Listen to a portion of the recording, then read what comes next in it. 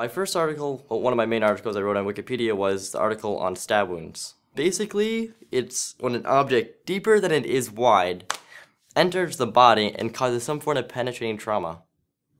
And well, it can infect many organ systems, hurt you physiologically, but most of the time you don't really die from the stab wound itself, you die from the organ failure that you get after all the blood is gone and, well, you just got stabbed. My name is Peter Coti. I am an EMT.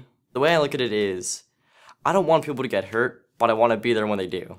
Well, one day, I was in Newark helping out at a hospital. We had this woman come in, she just all of a sudden just started barfing up blood. It's kind of like, this woman's barfing blood. How do I fix that? What do I give? Using Wikipedia, I've been desensitized, and now I can look at things in a more clinical way and not let emotions overcome me in serious real life life or death situations. When I edit Wikipedia, I need to make things that are exact and precise because I don't want to give false information to other people. That requires a lot of research and a lot of thought to be put into it before I actually put something into an article.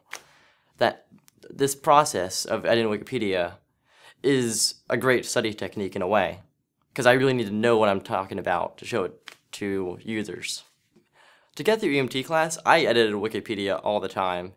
Um, for I wrote articles on acronyms and such. And if you're able to write an article on Wikipedia and explain it to another person, you can pass the test with an A+. plus. I'm telling you. I help the medical collaboration on Wikipedia where editors from a medical background will just come together and help improve a certain article every month. Be placebo, diabetes, mellitus, um, scabies. Did I say that?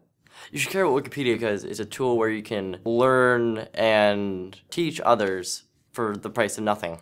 It's beautiful.